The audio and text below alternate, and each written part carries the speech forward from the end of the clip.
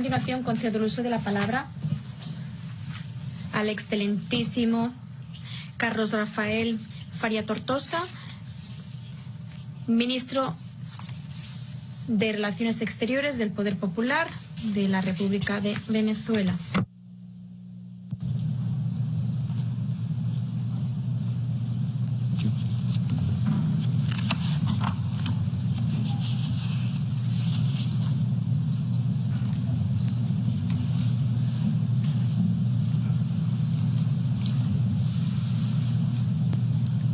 Carta del presidente Nicolás Maduro Moros para los pueblos del mundo.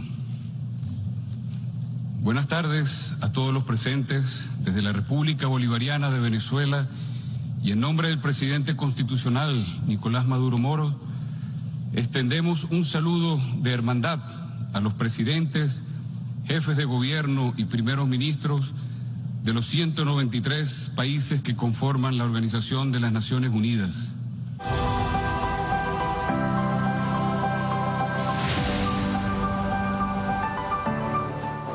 Muy buenas noches. Repasábamos lo que fue el comienzo de la presentación del canciller de Venezuela, Carlos Faría, dando lectura al mensaje del presidente de la República, Nicolás Maduro, ante la 77 mm, periodo especial ordinario de sesiones de la Asamblea General de las Naciones Unidas, una carta a la humanidad. Vamos a repasar lo que fue este mensaje del primer mandatario nacional en este programa especial con dos invitados también especiales. Entre ellos está el profesor Ernesto Bon, analista internacional, y el colega periodista Marcos Salgado, periodista y corresponsal de Hispan TV en Venezuela, con quien vamos a ir, o con quienes vamos a ir revisando los detalles más resaltantes de esta presentación, de este mensaje ante la Asamblea General de las Naciones Unidas. Unidas, un mensaje de poco más de, 20 minutos en donde se tocaron mm, varios temas importantes en el ámbito global y también temas internos importantes que se suelen tocar en este tipo de mensajes. Damos la bienvenida al profesor Ernesto Bon y a Marco Salgado. Mucho gusto, muchas gracias por esta invitación. Profesor, eh, para comenzar su visión sobre lo que fue este, este mensaje del presidente de la República, algo, algún aspecto a resaltar, a rescatar. Sí, el, discurso escrito del presidente creo que reúne las características de ese discurso denunciante, de ese discurso motivador, de ese discurso que tenía también el comandante Chávez, de saber cómo convocar a los pueblos, cómo motivarlos a comprender la situación internacional y creo que por allí está muy bien eh, precisado hacia dónde eh, quería o quiere ¿no? el presidente Maduro. Un contexto internacional llamar la atención, especial, ¿no? Llamar la atención a, los pueblos, ¿no? que hay que cambiar el mundo, que hay que transformarlo. Un contexto internacional muy especial que no solo menciona o destaca el presidente Nicolás Maduro a través de este mensaje, sino también distintos mandatarios, Marco. Sí, bueno, eh, creo que el contexto internacional lleva a, dos o tres tipos de discurso en las Naciones Unidas, de los, presidentes de los países. Eh, uno es el típico discurso del, presidente o el representante de un país que llega y dice, bueno, yo voy a hablar de los temas de mi país. O los temas generales de, de la humanidad los voy a tratar en función de lo que me pasa a mí con esos temas. Pasa a mi país. El otro discurso es el discurso em, de eh, los mandatarios que adoptan una agenda común y dicen, bueno, toca criticar esto, toca criticar aquello, toca... Y, y, todos vamos por el mismo lado. Y es lo que uno muchas veces puede adivinar o ver en muchos de los discursos que se han escuchado de Europa, lamentablemente en algunos discursos de América Latina, eh, en donde parece que hay un guion, ¿no? Donde pasan una chuleta y dicen, bueno, tenemos que pasar por acá. Usted tiene que criticar a Venezuela, usted tiene... ¿no? que ya lo hemos visto. Ya lo hemos visto muchas veces. Creo que lo hemos visto un poco menos en este año, pero vuelven a aparecer algunos de esos, de esos esquemas de discurso. Y después están los discursos, las intervenciones, la carta en este caso, como la del presidente Maduro, en donde lo que se hace es decir, bueno, estamos en un momento, estamos en un contexto internacional, como vos decís, que demanda que pensemos no desde cada país o solamente en lo que le pasa a mi país, sino en lo que le pasa a toda la humanidad. Eh, creo que el discurso, en el discurso aparecen varias veces esa apelación, ¿no? Cuando habla de, del cambio climático que ya no se puede revertir, cuando habla, en general, en un discurso anticapitalista, antiimperialista, y eso cruza todo lo demás. Cuando uno tiene una definición así, anticapitalista, antiimperialista, eso termina cruzando el análisis de todo el resto de las cosas y creo que es lo que aparece claramente en esta, en esta carta. Importante mm, mencionar de los aspectos que eh, destacas que se repiten en este discurso y que replica también la intervención del presidente Nicolás Maduro, es el acento sobre la configuración de un nuevo orden mundial. Y lo había dicho más temprano el canciller de China, Wang Yi, y también Sergei Lavrov, tan solo por mencionar en la jornada, en, la, jornada de hoy también lo replica el presidente Nicolás Maduro. En la visión de ustedes, eh, ¿cuán cerca está el mundo de poder presenciar o ver el cambio, ese cambio en el orden mundial va a ser rápido, va a demorar décadas. Eh, ¿En qué consiste ese nuevo orden mundial? ¿Va a ser la perpetuación de una hegemonía o se va a imponer un mundo multipolar, democrático y de respeto entre las naciones? Bueno, hay una tendencia a, poner tensas por parte de, impulsada por la fuerza que tiene Estados Unidos, el imperio, que tiende a, a poner tensión en distintas partes del mundo, pero eh, se observa que no puede alcanzar sus objetivos de desestabilización, de cambios de régimen en, los que ellos enfocan como adversarios. Y eso es importante porque eh, las potencias que están enfrentándose a Estados Unidos tienen una base económica extraordinaria, financiera, una base poblacional. Ocupan, tienen más de tres cuartas partes de la población mundial del lado de ellos, que ante una guerra puede pasar cualquier cosa, una guerra que, que incite, que inicie Estados Unidos, puede ser Estados Unidos liquidado en pocas horas, porque está la multipolaridad, y esa multipolaridad tiene la característica que tienen eh, también potencia nuclear, que están ligados a Rusia y a China. Entonces, eh, el papel o el significado que tiene la revolución bolivariana en el mundo hace que su gran líder, el, compañero Nicolás, pues proyecte ese deber de decirle a los pueblos, aquí está Venezuela, aquí estamos firmes, vamos a seguir batallando y lo, reafirmó y es parte de la argumentación que, le da a esa idea que él dice al principio del discurso que es hay que cambiar el mundo. Porque hay cosas que lo, tiene que decir el, líder de la revolución bolivariana que, que quizás no lo pueda decir el líder ruso o, o, el líder chino.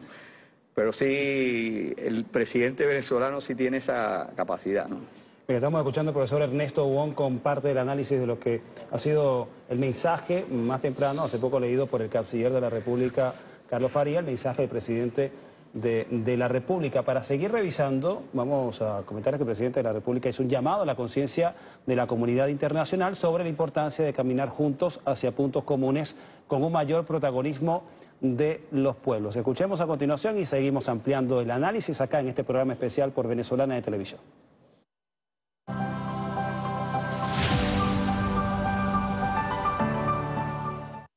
Aprovecho el tiempo que nos corresponde hablar en este foro en nombre de los 30 millones de venezolanos y venezolanas para enviar una carta abierta a la humanidad, pues no creo que sea otra la destinataria ni otra la finalidad que dé sentido a las palabras de un gobernante del siglo XXI, sobre todo en un momento tan crucial para el mundo cuando se necesita mayor protagonismo de los pueblos en crear alternativas para transformar la realidad. Y es que nunca estuvimos tan conscientes de ser una sola comunidad, una y múltiple a la vez, como en esta coyuntura que ha puesto en vilo aquello que compartimos y nos iguala, la vida.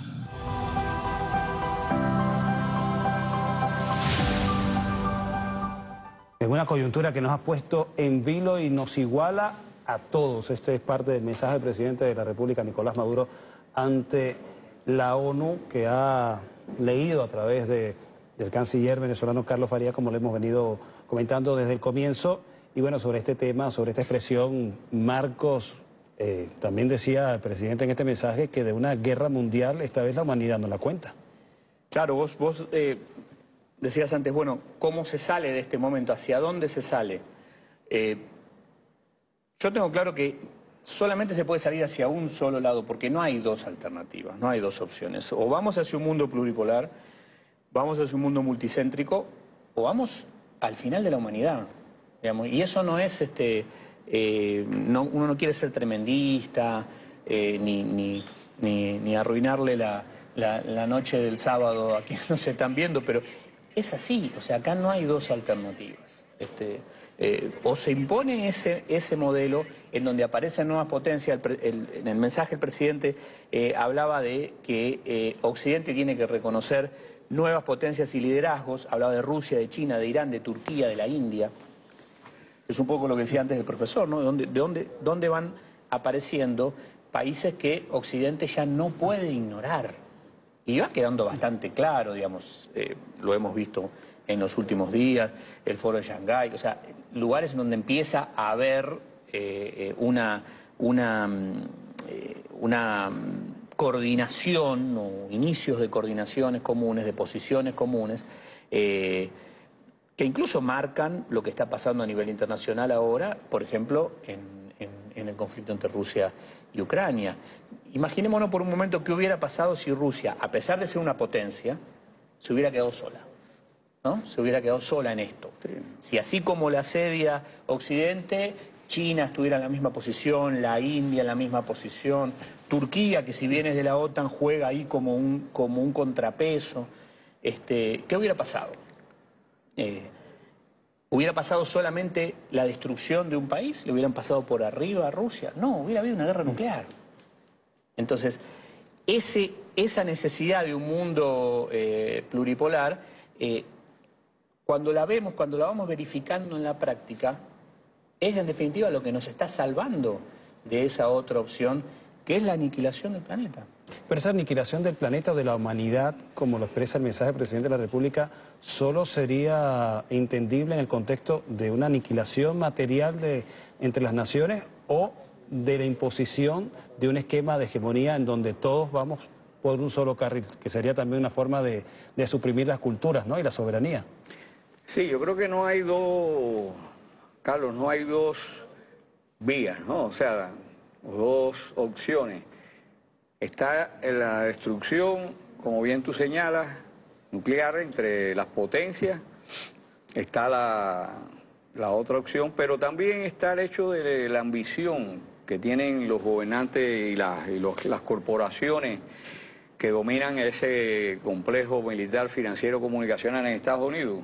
La ambición, la avaricia que los lleva a, impulsar, pueden impulsar guerras eh, como lo que está pasando en Ucrania.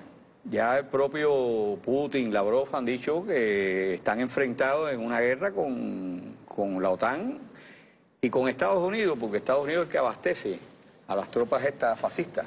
Y no hay países neutrales, occidentes no eso, en este conflicto. Eso imaginémonos que puede pasar en otros lugares y que esté obligada las fuerzas estas que se oponen antiimperialistas a asumir el enfrentamiento. Eso es posible también, ¿no?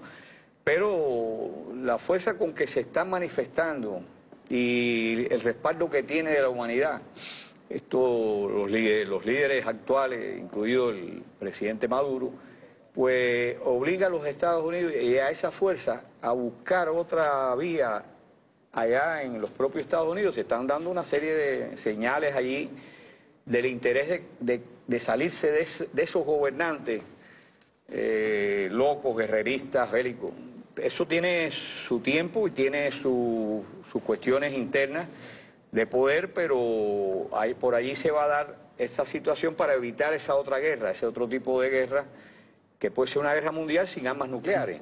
Eso también está...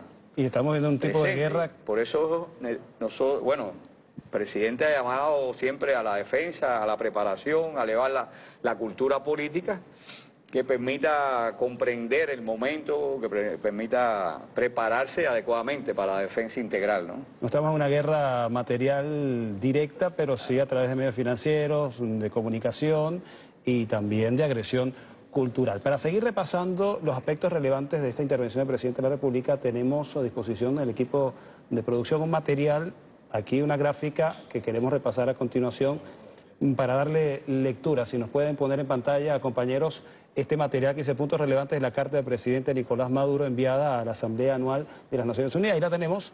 Punto uno, el presidente dirige un llamado de conciencia a la humanidad en los momentos críticos en que la vida misma en el planeta corre peligro. El orden hegemónico unipolar y su modelo civilizatorio supremacista han violentado y amenazado el imprescindible derecho internacional, desconociendo la autodeterminación y la especificidad de los pueblos. Parte del mensaje del presidente de la República. Otro punto del primer mandatario nacional en este mensaje enfatizó la importancia que tiene Venezuela para el mundo como una nación petrolera que está lista para sumarse al mercado internacional de forma integral y hacer frente a la crisis energética que enfrenta el planeta. Escuchemos. Siendo una de las principales potencias mundiales en materia petrolera y gasífera, Venezuela puede y quiere ser útil como miembro de la OPEP. En esta emergencia energética que se viene arrastrando desde hace una década y que afecta profundamente al sistema de precios y suministros e impacta a los países más pobres y también a los más ricos. La pandemia del COVID-19 y el conflicto entre Ucrania y Rusia agravan la situación de manera dramática. Pero más allá de esta postura histórica de garantizar como productor insustituible el equilibrio energético que demanda la comunidad internacional, nos ocupa el impacto de los diferentes conflictos mundiales en la seguridad alimentaria.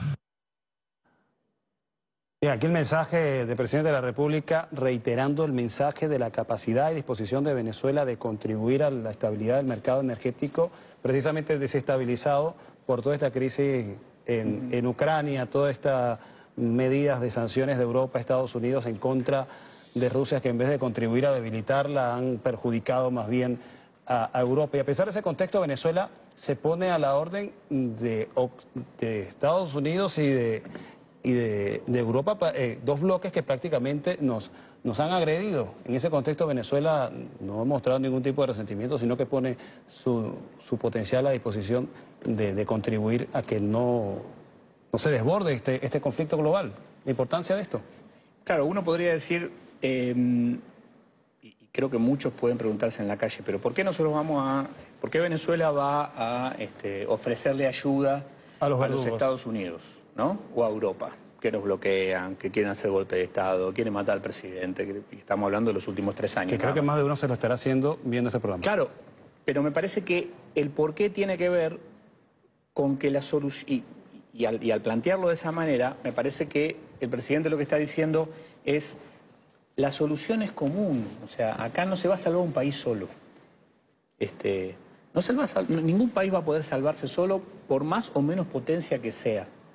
Entonces, al decir eso, al ofrecer las capacidades de Venezuela de esa manera, me parece que lo que de alguna manera está diciendo el presidente, que no es la primera vez que lo dice, ya lo, ha dicho el presidente Maduro en varias oportunidades. Días antes. Eh, claro, en algunos días antes.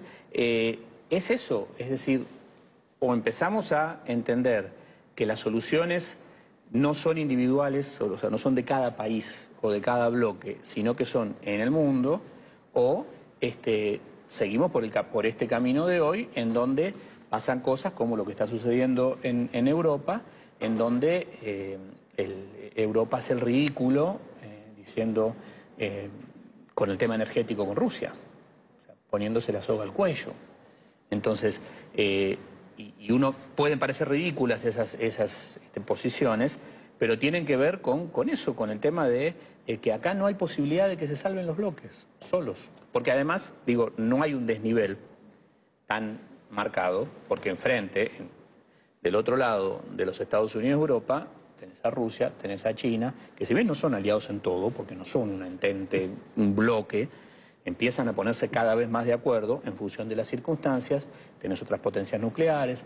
Entonces, eh, hay que buscar el equilibrio, no en función de decir no con una nueva guerra fría, decir, bueno, yo pongo un misil acá, el otro pone un misil allá, y otro acá, y así, ¿no? Sino, no en una escalada de esas características, sino empezar a encontrar puntos comunes que tienen que pasar muchas veces por encima de los gobiernos y por eso me parece interesante lo que decía el presidente en el inicio de su mensaje, diciendo, bueno, yo no le vengo a hablar acá a los presidentes, no le vengo a hablar acá a los países, vengo a hablar a los pueblos.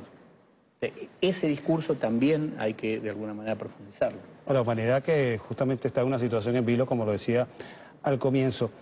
Profesor, este mensaje también, este ofrecimiento de Venezuela de poner a disposición su capacidad energética al mundo, también pone de relieve la apertura de otra posibilidad que sea también la de revisar o revertir esa política de medidas unilaterales coercitivas de Estados Unidos y Europa en contra de Venezuela, porque para que se dé esa posibilidad, también este bloque tendría que ceder en la agresión multiforme en contra de, nuestro país. ¿Estará abierta, estará eh, planteada la posibilidad por parte de Europa y Estados Unidos de de ceder en el caso venezolano para seguir su, enfrentamiento en contra de Rusia? Europa, ese bloque occidental de la OTAN está haciendo lo que dice Estados Unidos. Si Estados Unidos cambia... Pues más que diga Europa, Estados Unidos. Sí, sí, sí, porque eso ellos son los que mandan. Pero eh, fue un discurso antibloqueo. Antibloqueo porque está bloqueada también Venezuela en la opinión europea. No se sabe la verdad de Venezuela y creo que eso lo apuntó Maduro. Y después que llevan cuatro, tres, cuatro años diciendo tantas mentiras contra Venezuela y sobre Venezuela, decirle a los europeos que, le pueden dar energía cuando están eh, golpeados por las propias decisiones de sus gobernantes es una forma extraordinaria de, poner más a los pueblos del lado de Venezuela. Y, todo eso tiene el respaldo del ALBA, porque no hay que perder de vista de que la Unión está también impulsando eh, geopolíticamente, eh, reforzando las alianzas con Eurasia, producto de ese, la posibilidad de buscar otra vía al canal de Panamá, el ALBA, con estos países, más todo el Caribe, o la, una parte del Caribe importante, le da un respaldo extraordinario también a Venezuela por ser eh, la potencia gasífera más importante del, mundo, yo dijera, entre los países que conforman, en este caso Bolivia y, Venezuela. Pero geopolíticamente, Cuba es la llave del Golfo, es la, la, madre del Caribe allí, que la reconocen así todos los países, la, la Asociación de Estados del Caribe, y Nicaragua en Centroamérica. Entonces, todo eso pega con el con el planteamiento que está haciendo el presidente, que lo está oyendo, leyendo del mundo entero en, esta, en este discurso que reúne, como te decía al inicio, todas esas características de los grandes líderes, que es lo, yo creo que es lo, lo que reflejé en, una obra que recién se publicó y que tiene que ver con esa facilidad o, necesidad de, argumentar cómo es que se va a lograr un cambio en el mundo a través de esa, esa resistencia al imperio, a las políticas agresivas y sacar adelante a los países, que es lo que está haciendo Putin con el caso de Rusia. Estamos en presencia de, unos referéndums, de cuatro referéndums que van a, desarrollo a llevar la parte más productiva de Ucrania a la, a la nación rusa, porque ahí fue donde nació Rusia, en esa zona. Pero mientras, bueno. Mientras seguimos desarrollando ese tema, porque nos estamos yendo hacia, hacia el conflicto en Ucrania y Rusia, vamos a seguir revisando un segundo punto que también es relevante dentro de este mensaje. Le dimos a la producción que coloque en pantalla este, este aspecto, en donde Venezuela ha sido víctima de una guerra híbrida con miras a un cambio de régimen con lo que se ha cometido un crimen de lesa humanidad contra su pueblo, así dice el mensaje del presidente. Todo porque Venezuela ha puesto en marcha con éxito un modelo alternativo, un socialismo bolivariano que garantiza los derechos civiles y también humanos, y hoy Venezuela quiere ser parte de las soluciones y ofrece al mundo en cooperación su potencial energético y agroproductivo. Así, en el, aspecto energético ya lo habíamos mencionado antes y también Venezuela se ha puesto a disposición para contribuir al diálogo, a la solución dialogada, eh, diplomática, pacífica del conflicto que se realiza, eh, el conflicto que se desarrolla en, en Ucrania y la operación especial militar rusa en el Donbass y también en parte del territorio ucraniano para defender a la población ruso parlante, la cual desde 2014 venía siendo objeto de una agresión sostenida por parte del régimen de Kiev. En otro contexto, en el marco de la diplomacia bolivariana de paz, el presidente de la República, Nicolás Maduro, envió dentro de este mensaje el respaldo a todas las iniciativas que contribuyan a la paz con especial énfasis en el apoyo a la propuesta del presidente de México, Andrés Manuel López Obrador, sobre el conflicto ruso-ucraniano. Vamos a escuchar a continuación. Para mi país, un pueblo que jamás ha participado en un conflicto armado internacional, no existe otro camino que la paz, la justicia y la confianza, el respeto del derecho internacional. Suscribimos, por tanto, la propuesta del presidente Andrés Manuel López Obrador, que aboga por la creación de una comisión internacional para facilitar el diálogo soberano entre Rusia y Ucrania. Y nos ponemos a la orden para facilitar sus condiciones. Rechazamos todas las provocaciones militares y sanciones económicas injerencistas que se han tomado contra Rusia así como la campaña de odio desatada en detrimento del pueblo eslavo por considerar que estas acciones, lejos de sumar a la paz, asusan el fuego de la guerra. Bien, el mensaje de Venezuela para contribuir a la solución pacífica, diplomática, dialogada del conflicto que está en desarrollo desde el pasado 24 de febrero, la operación especial militar rusa en territorio ucraniano. Ya lo decíamos al comienzo, se trató de una operación para proteger a la población de los territorios del, Donbass, las repúblicas populares de Lugansk y Donetsk, las cuales desde 2014 venían siendo objeto de un sostenido proceso de, agresión y de masacre de, muchos de ellos y que, que, bueno, obligó en este caso, en este contexto, a Rusia, así en palabras del presidente Putin, a actuar para proteger a la, a la población. Sobre este comentario, sobre esta situación y el ofrecimiento de Venezuela eh, pudiese nuestro país poder contribuir a esa solución? ¿Es una, es una solicitud unilateral o, es, o, viene también sumada a otras voces en la región que también están pujando, pugnando por, por una solución, una tregua en el mundo? Parece que, el hecho de, de, que se plantee en el mensaje del presidente concretamente el respaldo a la propuesta de otro presidente, en este caso de Andrés Manuel López Obrador, el, presidente mexicano, le da una, fuerza, le da una entidad, le, agrega entidad y peso a la, propuesta de López Obrador, que no olvidemos es uno de los referentes principales de la recuperación de la CELAC.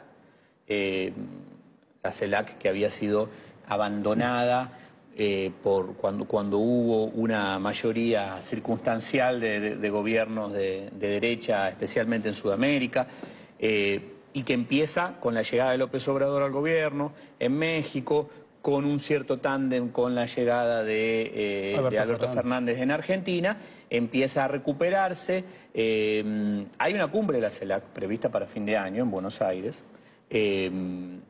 va a ser muy interesante lo que pase ahí. Eh, luego de las elecciones en Brasil. Luego de las elecciones en Brasil, que para las que falta muy poquito. Eh, lo que pase en Brasil va a ser central para este, entender cómo va a seguir eh, América Latina, qué puede pasar con la CELAC, qué puede pasar con la UNASUR. pero fíjate que de cualquier manera la UNASUR tiene algunos detractores como el presidente Boric de Chile, que ya salió, nadie sabe bien por qué, a declamar por todos lados que la UNASUR no. Eh, sí se entiende por qué. Se entiende que la UNASUR tenía una cantidad de mecanismos concretos, más allá de ser un foro de países, que permitían, por ejemplo, haber atendido la, crisis por la, por la COVID-19, que eh, permitía que no hubiera pasado lo que pasó en, Bolivia, el golpe Incluso hay una propuesta de Alberto Fernández de copiar o replicar un poco esa experiencia y estructura de la UNASUR a la CELAC para darle un poco de, de, mayor operatividad de la que tiene ahora. Es una pelea, es una pelea porque uno puede ver también que hay contradicciones. Yo decía recién, bueno, eh, de alguna manera Venezuela apoya a AMLO, al presidente de México en esto. Eh, hay un tándem entre, entre México y Argentina que ha propulsado hasta aquí la, la CELAC, pero uno después escucha al presidente de Argentina que tiene un discurso contra el bloqueo, eh, contra Venezuela eh, y contra Cuba en, la, en, en, Los Ángeles, en la Cumbre de las Américas, que lo vuelve a repetir ahora en la, en la Asamblea General de las Naciones Unidas, pero que cuando tiene en sus manos la posibilidad de ir concretamente contra el bloqueo, liberando a la tripulación del avión de Entrasur y liberando el avión que está incautado a pedido de, o secuestrado a pedido de los Estados Unidos, no lo hace. Es decir, hay todavía una cantidad de, contradicciones, pero que Venezuela se sume explícitamente, concretamente, el mensaje del presidente a esta propuesta, le da, le da entidad eh, y, y, le da peso. Hay que ver qué hacen el resto de los países. De cualquier manera, estamos en una región en donde eh, el alineamiento con Estados Unidos y Europa, o con Estados Unidos, como decía el profesor, en el tema de, la, situación en, del conflicto entre Rusia y Ucrania, no ha sido un alineamiento central o, unívoco. Hay posiciones diferentes. Profe, tratando de interpretar un poco este el clamor o algunas preguntas que se hace la gente en la calle, tal vez viendo este mensaje dirá, bueno, con los problemas, con las situaciones que tiene que enfrentar Venezuela, cuál es el interés también de nuestro país de poder involucrarse para la resolución de un conflicto que algunos verán que está muy lejos, pero para esas personas que tal vez no, no les termina de cerrar la idea de qué tiene que ver Ucrania con, con Venezuela o el conflicto que está sucediendo ahí, a ellos que le diría la importancia a ellos de, que Venezuela junto con otros países se incorpore para la solución eh, política negociada y pacíficamente de este conflicto, porque si no se hace, ¿qué sucederá? Sí, el, asunto es que la propuesta de López Obrador va a tono con el derecho internacional público. Y el derecho internacional público es lo que está las grandes potencias euroasiáticas están defendiendo a capa espada. Lo defiende el ABA-TCP, todo el mundo euroasiático, el 80% de la población mundial con sus gobernantes están buscando una defensa del derecho internacional público ese, ese derecho que establece la solución pacífica de los conflictos y no por la vía amada. Pero eso eh, es vigente desde que dieron un golpe de Estado, o sea, es más vigente desde que dieron un golpe de Estado en el 2014 en Ucrania. Y como bien decías, todo lo que conllevó la criminalidad con que se actuó los nazis ucranianos actuando contra la población civil. Entonces, el mensaje de López Obrador, respaldado por, por Venezuela, eh, apunta a respaldar el derecho internacional público y es parte de la fortaleza que puede tener Venezuela en el mundo frente a unas potencias como Estados Unidos y toda la OTAN, que, siempre están amenazando lo que es el Comando Sur con esta jefa nueva ahora que hemos visto cómo, trata de meter miedo, de atemorizar algunos países. Pero fíjate que casi todo Centroamérica está, está del lado de Venezuela, indirecta o directamente, porque se han, eh, de una u otra forma se han, han presentado sus querellas contra la política agresiva de Estados Unidos. Si no están con Venezuela, al menos se están aliando más a, China. China tiene, es el principal socio comercial de América Latina. Y entonces la diferencia entre UNASUR y CELAC es que la CELAC son 32 países donde un peso grande lo tienen los 14 caribeños. Y, entonces ahí hay una, una situación que tanto López Obrador como otros gobernantes, y esperamos que Lula también se sume a esto, pues le dé una fortaleza mayor a, a nuestra América. ¿no? En la audiencia le comentamos que estamos en programa especial analizando parte de lo que fue la intervención del mensaje del presidente de la República ante la Asamblea General de las Naciones Unidas. Estamos con el profesor Ernesto Wong y Marco Salgado en este proceso de, de análisis. También se incorpora a esta, a esta programación especial, a este programa especial, la colega Madeleine García, vía telefónica. Ella está eh, en, estos, en, vísperas de lo que va a ser otro acontecimiento importante para nuestro país en la frontera colombo-venezolana. Este 26 de septiembre se, se reabre formalmente la frontera entre nuestros países y se avanza en la normalización de, las relaciones, y lo cual contribuye también a, ir mm, paulatinamente también este, resolviendo todas estas partes de estos ataques que han sido objeto de Venezuela a través de lo que hasta hace poco, a través de, Bogotá, venía reforzando políticas de agresión y de bloqueo. No digo más, le doy las buenas noches a Madeleine García, la tenemos ya en línea. Muchísimas gracias, buenas noches Madeleine, ¿cómo estás? Primeramente, bienvenida a esta programación y, y, bueno, coméntanos un poco también sobre el ambiente que se está viendo días antes de lo que va a ser esa apertura formal y también comentarnos sobre lo que fue la intervención de la carta del presidente Nicolás Maduro ante la ONU. Hola Carlos, te saludamos, saludamos también a tus invitados, al querido profesor Ernesto Wong, también a, em, nuestro colega que se encuentra allí, eh, pero bueno, yo quisiera reflejar un poco lo que está sucediendo acá en la frontera, que es una radiografía, si se quiere, de esa carta que expresó públicamente el presidente Nicolás Maduro a la humanidad, que le regaló a la humanidad para poner en contexto todo lo que está sucediendo a nivel mundial y que desde aquí, muy cerca, al lado, justo al lado eh, de Venezuela, ha, venido sucediendo y sucedió durante cuatro años muy fuerte con eh, la política exterior de Iván Duque, pero que respondía a esa visión unipolar de Estados Unidos. Eh, hemos visto eh, cómo Venezuela ha sufrido lo que eh, significa esa esa esa política exterior de Estados Unidos precisamente de dominación y cómo en este caso el, gobierno saliente de Iván Duque trató de, de imponerse y desde allí se dieron bueno, todo lo que ya nosotros hemos repasado en muchos programas, el intento de invasión, eh, entrenaron a, personas para derrotar al, presidente, para asesinarlo. Eh, hoy eh, también aquí con la apertura de la frontera, bueno, Colombia se ha visto quizás un poco limitada. Hoy hubo un encuentro entre los ministros de Defensa de, Colombia y de Venezuela para dar ese paso en el tema militar es restablecer las comunicaciones que jamás se debieron perder, así lo así coincidieron los dos ministros de la defensa, el tema de los migrantes que también hablaba el presidente Nicolás Maduro de esa eh, politización de una eh, tragedia eh, tan fuerte como es ese tema de los migrantes y cómo exigía el presidente Nicolás Maduro cuentas eh, para eh, saber en dónde están esos recursos que se destinaron a nombre de los venezolanos que eh, pasaron hacia las fronteras que, y que siguen utilizando a nombre de la, la tragedia o, esta situación de los venezolanos. Entonces, vemos aquí mismito reflejado esa carta que el presidente Nicolás Maduro públicamente, bueno, leyó el canciller de Venezuela en Naciones Unidas.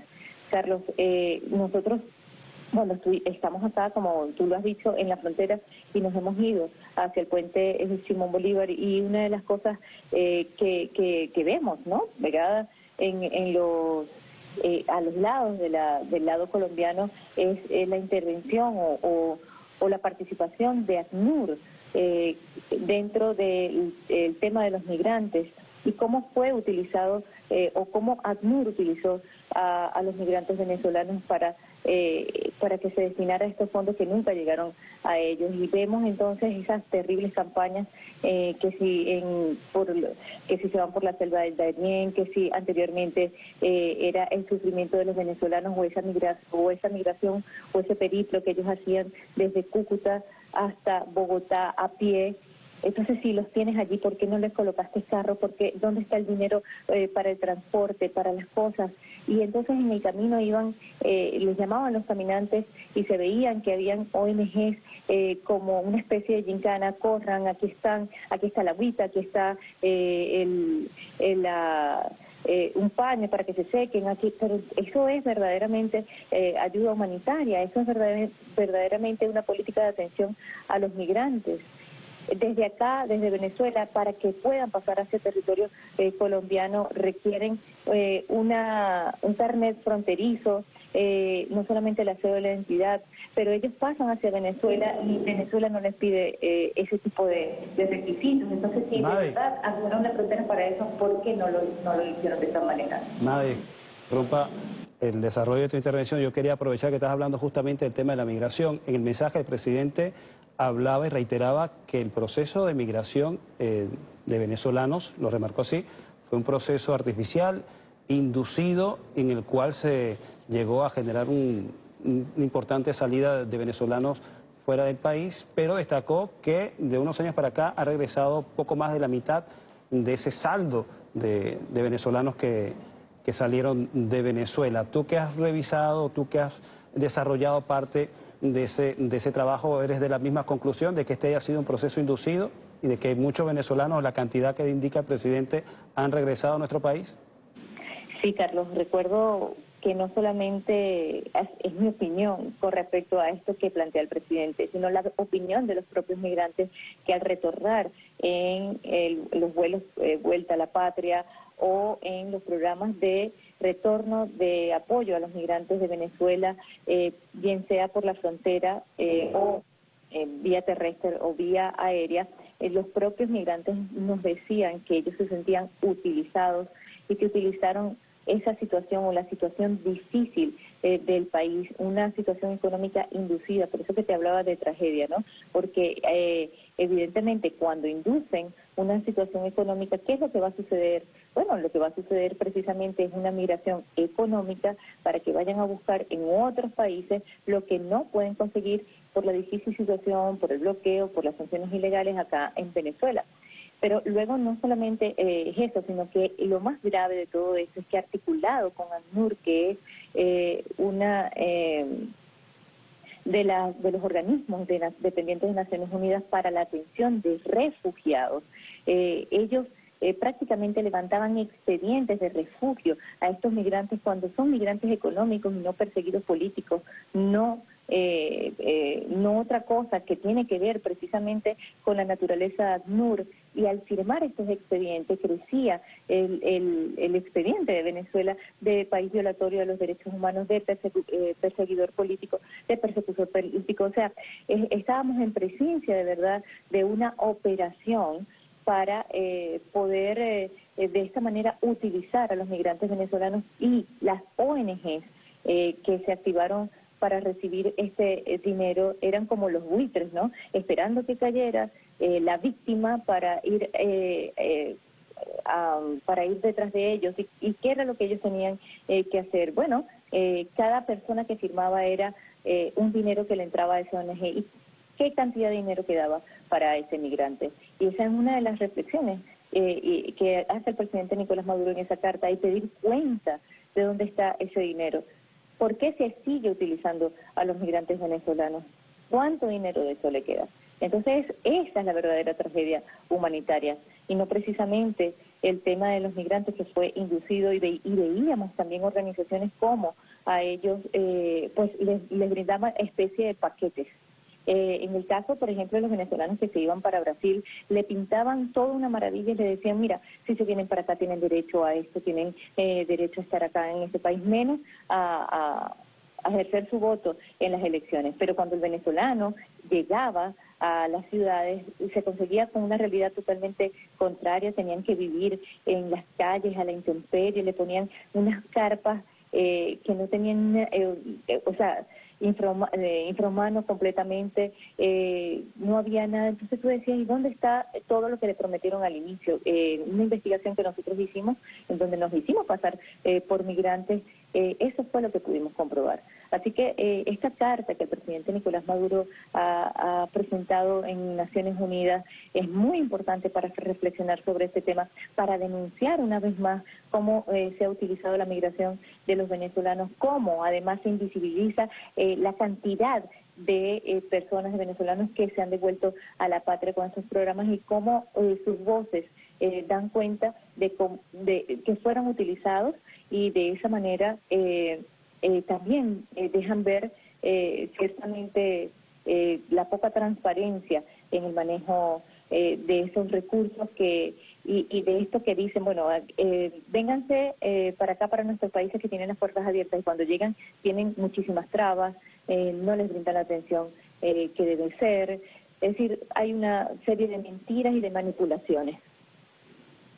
Muchísimas gracias, Mae, por tu participación y también por, esta, por este análisis y, también por describir lo que ha sido parte de ese trabajo que ha hecho dando cobertura a este proceso también de, la migración e inducida que ha destacado el presidente de la República. Vamos a estar pendientes también de ti, de lo que va a ser en vísperas de este 26 de septiembre la apertura de la frontera. Agradecemos tu participación.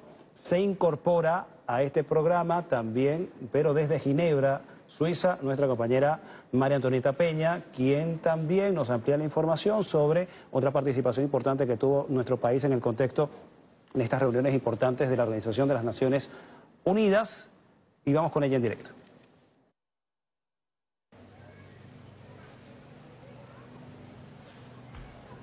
Hola, gracias por este contacto. Un saludo para ti, un abrazo a nuestro equipo de Venezolana de Televisión y también a nuestros amables televidentes en toda Venezuela y a quienes se conectan también a, través de la señal de streaming. Estoy desde el Aeropuerto Internacional de Estambul, en Turquía. Estamos siguiendo el eh, discurso por parte de Venezuela, la participación de nuestro país en esta 77 séptima eh, Asamblea General de la Organización de las Naciones Unidas. Unas agendas que se han estado llevando a cabo en todo el mundo, en la ONU, quiero decir, en Ginebra, Suiza, por ejemplo, se estuvieron llevando algunas eh, reuniones también importantes en las que muchos temas de los que hoy denuncia el presidente Nicolás Maduro a través de su carta a la Asamblea de las Naciones Unidas, ha dejado también en claro las denuncias de Venezuela ante los impactos del bloqueo financiero, económico y diplomático del que es blanco nuestro país. Algunas de las cosas que él mencionaba en esta carta es justamente de las 913 sanciones solo en materia económica de las que es blanco Venezuela y de la que muchos países no están al tanto. El presidente Nicolás Maduro hablaba de crímenes de lesa humanidad. 150 mil millones de dólares ha costado más o menos ese bloqueo financiero y económico para nuestro país, sin contar el robo, la expoliación más grande eh, en el caso de las 31 toneladas de reservas de oro que se ha quedado el Banco de Inglaterra y que son propiedad de Venezuela. Entre otras cosas, y en materia de derechos humanos, pero puntualmente de migración, el presidente Nicolás Maduro, a través de su carta en esta participación en la Asamblea eh, General de las Naciones Unidas, ha hablado del impacto de la migración inducida por una campaña mediática que ha estado eh, formando parte también de esta guerra híbrida y multiforme de la que ha sido blanco Venezuela para intentar cambiar un régimen que no lo han logrado, pero cuyo impacto en el país, en la población venezolana y también en los venezolanos, en el exterior, sin duda ha sido un impacto importante. Puntualmente en el tema de la migración, que es lo que quisiera comentarles ahora mismo en este contacto, eh, el presidente Nicolás Maduro hablaba de que el 60% de la población venezolana que ha migrado ha retornado voluntariamente al país huyendo de los malos tratos, huyendo de la violación de sus derechos y huyendo también de la violencia y de la explotación de la que ha sido blanco también en otros países, en muchos países del mundo. El plan Vuelta a la Patria, que es un país, eh, perdón, es un plan único en el mundo y que ha sido piloto en Venezuela para repatriar a los connacionales que decidieron emigrar en su momento eh, y que se lleva a cabo, como lo sabemos en Venezuela, a través de la aerolínea Conviasa, una aerolínea que también ha estado siendo sancionada y boicoteada para impedir, entre otras cosas, que se lleve a cabo este plan Vuelta a la Patria. Han sido muchas las denuncias. Ahora mismo eh, se denunciaba en la Organización de las Naciones Unidas, en el Palacio de Naciones, eh, se llevó a cabo durante este martes y miércoles la defensa del informe nacional en el que Venezuela eh, vino hasta el Consejo de Derechos Humanos de Trabajadores Migratorios y sus familiares para presentar el informe anual que ahora mismo por la delegación venezolana representando a nuestro país ha defendido las bondades y la protección en materia de derechos humanos que Venezuela tiene con nuestros eh, habitantes, con nuestros ciudadanos. En el tema migración, el Consejo de Derechos Humanos preguntaba acerca de la protección y del apoyo a los electores en el exterior, pero también de la garantía de protección de derechos humanos, no solamente de los migrantes que vienen a Venezuela, sino también de los venezolanos que están afuera en el exterior. Son muchas las interrogantes que han surgido, pero también las que se han eh, presentado y que ha llamado especialmente la atención en el Consejo de Derechos Humanos de Protección de Trabajadores eh, Migrantes y sus familiares. Entre esos, y es una denuncia que se hace, que ha llamado especialmente la atención a este Consejo de Derechos Humanos, ha sido la presentación de un informe de al menos 383 páginas por parte de la Comisión Especial de la Asamblea Nacional que investiga los crímenes y los asesinatos en contra de los venezolanos en el exterior. Un número que ha sido...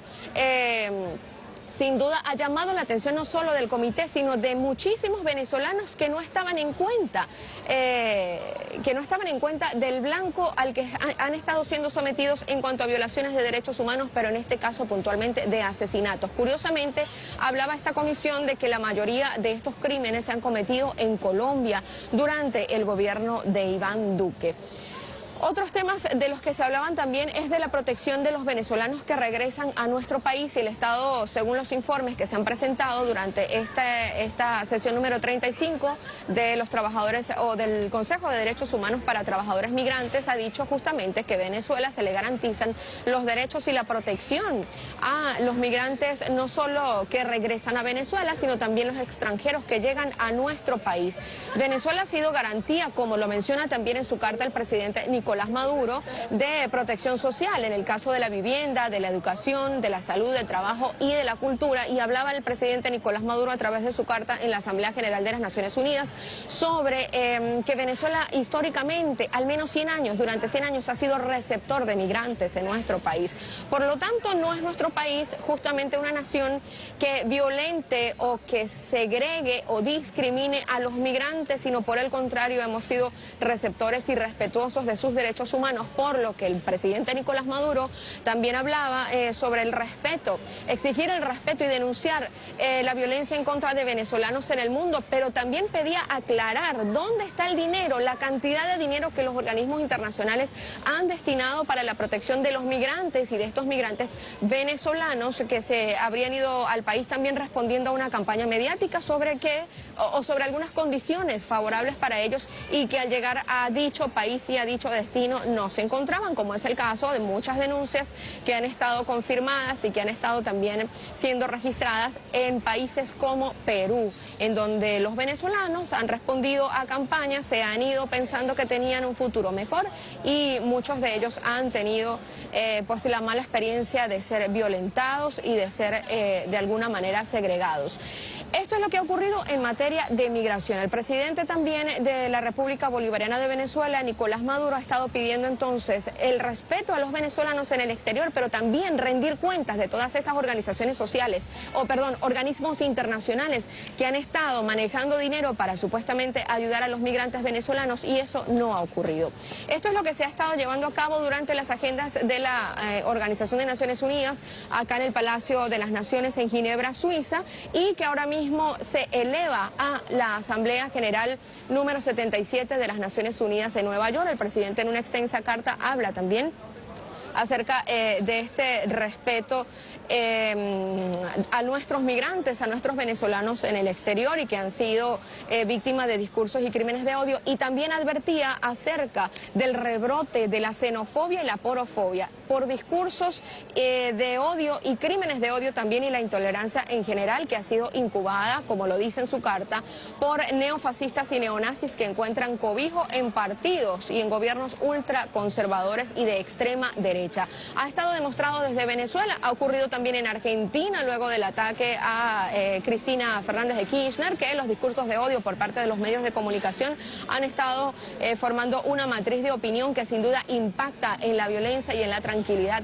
de nuestra sociedad. Temas migratorios que han estado en la palestra y que ahora mismo Venezuela no solo lo denuncia ante la Asamblea General de las Naciones Unidas, sino que también lo denuncia en la Organización de las Naciones Unidas en Ginebra, Suiza, a través de la presentación de este informe de, eh, ante el Consejo Consejo de Derechos Humanos de Trabajadores Migratorios y sus familiares. Denuncian entonces los malos tratos hacia los migrantes, el número de asesinatos que ha sido exorbitante durante los últimos tiempos eh, de venezolanos en el exterior y también eh, las denuncias propias sobre malos tratos, que, eh, malos tratos y consecuencias entonces de las políticas y de la guerra híbrida en contra de nuestro país. Bueno, esto es parte de lo que se ha estado llevando a cabo durante estas agendas de la Asamblea de las Naciones Unidas, de la Asamblea General, pero también eh, desde el Palacio de Naciones de Ginebra, Suiza. En los próximos días y en las próximas semanas se estará llevando a cabo las conclusiones por escrito y las respuestas por parte del Consejo de Derechos Humanos de Trabajadores Migratorios, quienes estarán llegando o haciendo llegar sus respuestas a Venezuela acerca de la evaluación y las conclusiones tras la presentación y defensa de este informe. Es lo que puedo contarte en este momento, siendo un contexto de lo que ha ocurrido eh, con la participación de Venezuela y las denuncias puntualmente en el caso de la migración y de los informes que han sido presentados en la eh, Organización de las Naciones Unidas ante el Comité de Derechos Humanos de Trabajadores Migratorios y sus familiares acá en Ginebra, Suiza. Me despido, vuelvo el contacto contigo. Un abrazo para todos desde el Aeropuerto Internacional de Estambul, en Turquía. Gracias a nuestra compañera María Antonieta Peña, como lo precisó al final, me equivoqué yo, no está en Ginebra, está en la escala de regreso a nuestro país, pero haciendo este balance y contribuyendo para el análisis de este programa especial sobre lo que sucedió antes de la presentación de Venezuela del Comité de Derechos Humanos de Trabajadores Migrantes y sus familias y también lo que fue la intervención o el mensaje del presidente Nicolás Maduro ante la Asamblea General de las Naciones Unidas, en donde resaltó precisamente uno de esos aspectos que fue la migración, destacando que la migración venezolana fue un proceso inducido. Así que agradecemos la contribución de nuestra compañera María Antonieta Peña.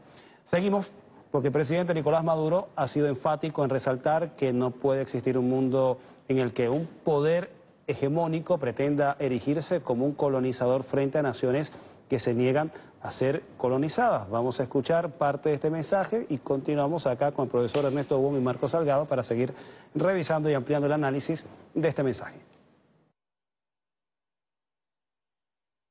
Es urgente un cambio ético en las viejas potencias a favor de la construcción de un nuevo mundo común sin colonizados ni colonizadores, donde se trabaje conjuntamente las soluciones de nuestros pueblos. No hay tiempo para la prepotencia, no hay tiempo para las confrontaciones y escaramuzas inútiles.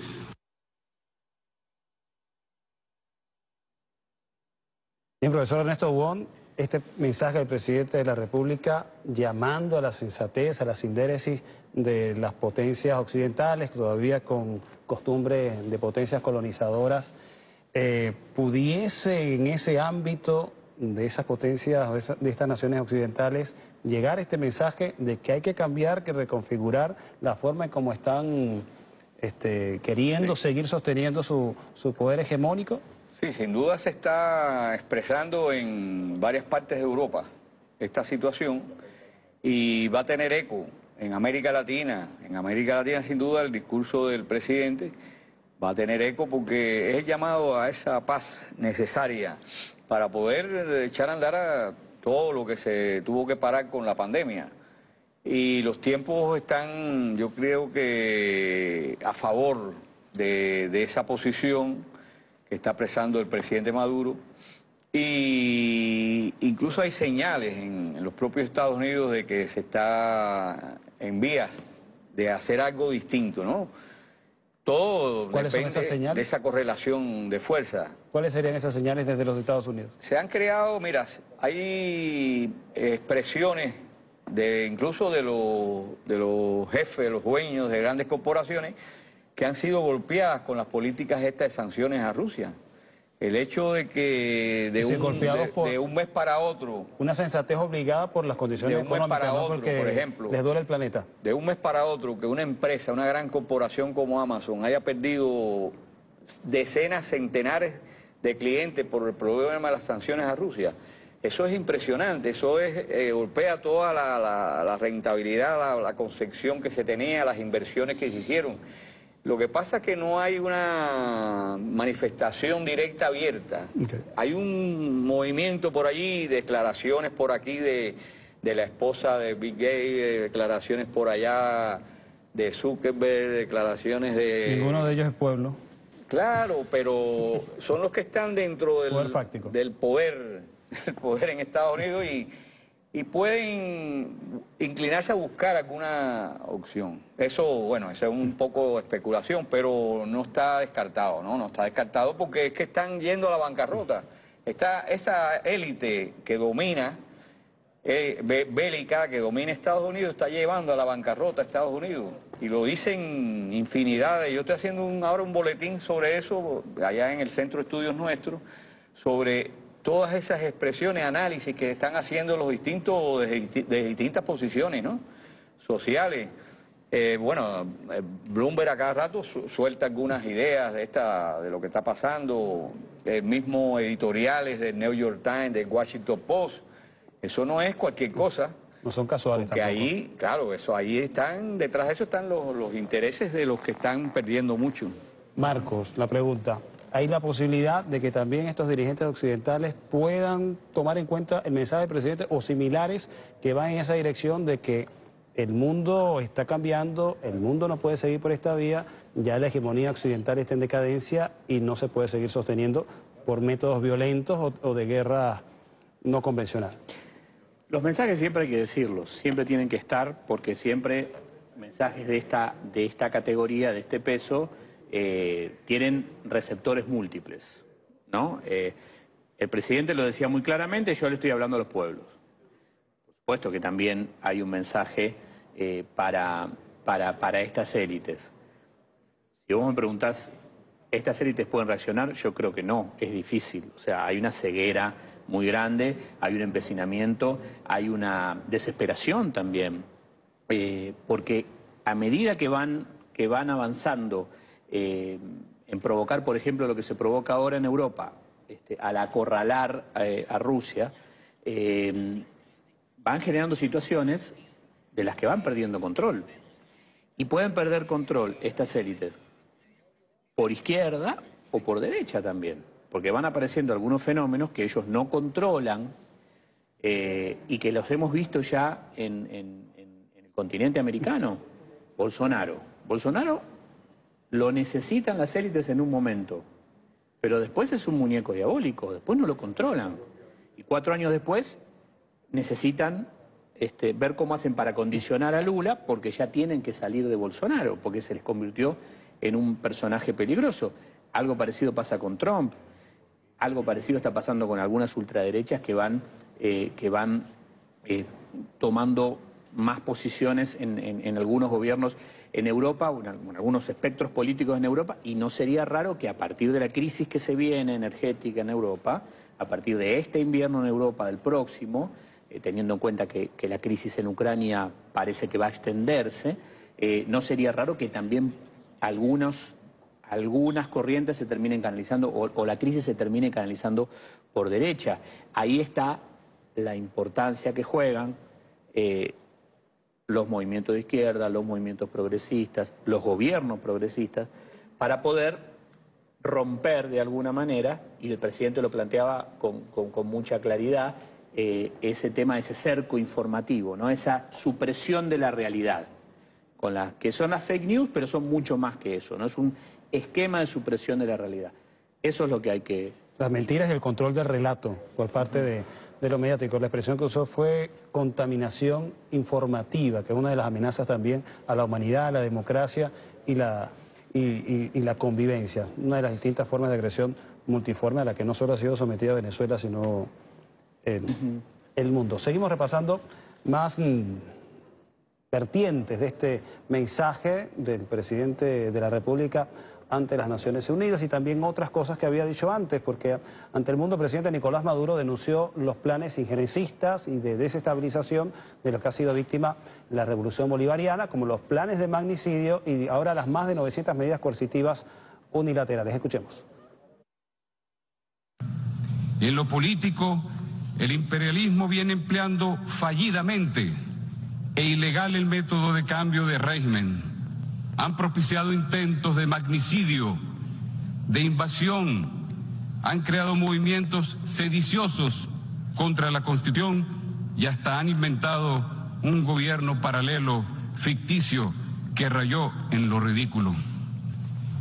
En lo económico, pocos saben que sobre este pequeño pero digno país pesan 913 sanciones ilegales, que en resumidas cuentas le impiden a mi pueblo vender y comprar lo que produce y necesita para el desarrollo y el goce de nuestra existencia individual y colectiva.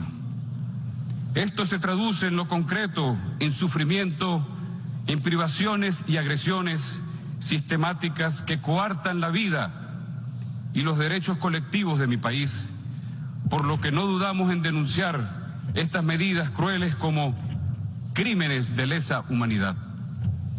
Esta guerra económica, cuyas pérdidas para mi nación superan los 150 mil millones de dólares en los últimos años, se incrementó durante el periodo más grave de la pandemia mundial, imposibilitándonos comprar insumos médicos, medicinas y vacunas. La estigmatización ha servido además a Europa y a los Estados Unidos de coartada para ejercer el expolio más descarado que se haya cometido contra nuestro patrimonio y activos en el exterior. Más de 31 toneladas de reservas de oro venezolano depositados en el Banco de Inglaterra. Bien, mucho se habla de Venezuela y muy poco se conoce de nuestro país, decía otra parte de este mensaje del presidente de la República, en donde se hace un balance de lo que ha sido el, atroz, hay que decirlo con ese adjetivo, eh, el resultado de una campaña sostenida de medidas coercitivas unilaterales, el bloqueo ya lo hablaba, ya no son 763, sino más de 900, 913 medidas coercitivas. En el análisis de ustedes, la importancia de la mención de este detalle que a veces se nos escapa en la cotidianidad de, la información, porque las personas a veces escuchan hay bloqueo, hay sanciones, hay medidas coercitivas, pero no tiene dimensión de la cifra y el alcance del daño que está causado. Nada más dio 150 mil millones de dólares de pérdidas antes de la pandemia, dejando abierta la posibilidad, y que seguro es así, que la cifra a la actualidad es mucho mayor. Sí, todo eso comenzó a incrementarse, aunque ya existían manifestaciones de Estados Unidos en contra de la revolución bolivariana, pero cuando se hace el decreto de, Obama. de Barack Obama en el 2015, que se empieza a aplicar, es cuando empieza todo el aparato estatal de Estados Unidos a, plantear planes para acabar con la revolución bolivariana, siguiendo la doctrina neoconservadora del cambio de régimen, del supremacismo. Y eso eh, conllevó a, que en diferentes sectores y de Estados Unidos empezaran a, idear cómo acabar con el proceso venezolano desde el punto de vista financiero, con las amenazas militares, desde el punto de vista económico, comercial, todos esos aspectos eh, conllevaron, pero como bien dice el presidente, nada de eso pudo parar la orientación, el enfoque de la revolución hacia el socialismo bolivariano. Y, eso ha demostrado a los pueblos de América Latina y a los pueblos del mundo de que sí se puede enfrentar con éxito las campañas agresivas de Estados Unidos. Estamos en el tramo final ya de este programa especial. Marcos, y bueno, un análisis sobre este tema antes de concluir. Bueno, eh, evidentemente vos decías, hay que seguir insistiendo, hay que seguir comunicando eh, cuáles son las consecuencias del bloqueo, cómo opera esas medidas este, coercitivas que se, que, se, que se van regando en, en, horizontal, digamos, ¿no? en, toda la vida eh, del país y efectivamente después también de las personas. y tienen un capítulo en donde es indispensable la toma de posición, creo yo, más clara de los vecinos de los países de América Latina. Este, antes lo nombrábamos, bueno, el presidente de Argentina denuncia el bloqueo, pero después no hace lo que puede, él puede hacer contra el bloqueo, que es liberar el avión de Entrasur. y el resto de la tripulación. Y el resto de la tripulación. Eh, Conviasa tenía preparado un vuelo para comenzar a operar el lunes con, con Bogotá. no, lo no se va a poder hacer. ¿Por qué? Porque este, hay medidas coercitivas del Departamento de, los Estados Unidos por la, ley, la llamada ley Clinton este, que impiden que, eh, bueno, no lo impiden, que según Estados Unidos impiden que, lo, que el avión que se iba a utilizar o los aviones de Conviasa puedan ser utilizados. Pero también hay un resorte del gobierno de Colombia de decir, miren señores, no, esperen, porque esa operación de ese avión va a ser en Bogotá, no va a ser en Miami. Son parte de las complejidades. Es parte de las complejidades, es parte de las decisiones que los gobiernos este, vecinos pueden tomar y por ahí también hay que trabajar y por eso hay que seguir denunciando. Y es parte de la rutina de la televisión, de los medios de comunicación que tenemos el tiempo contado para, para este tipo de análisis y, y de programas, pero que esperamos hayamos podido contribuir a la audiencia con lo que fue el desarrollo de este mensaje y esperamos también que se hayan sentido agradados y, claro esta conversación y bueno, complacido también este servidor de haber compartido por primera vez con los dos juntos. Ya había estado con el profesor Ernesto, primera vez con, con, Marco. Gracias, gracias. Bueno, dicho esto, a todos ustedes, muchísimas gracias por habernos mm, este, seguido durante esta hora y pico, hora y quince minutos, llevando el desarrollo de este mensaje del presidente de la República ante la Asamblea General de las Naciones Unidas. Unidas. La invitación es para que continúe con la programación de Venezolana de Televisión.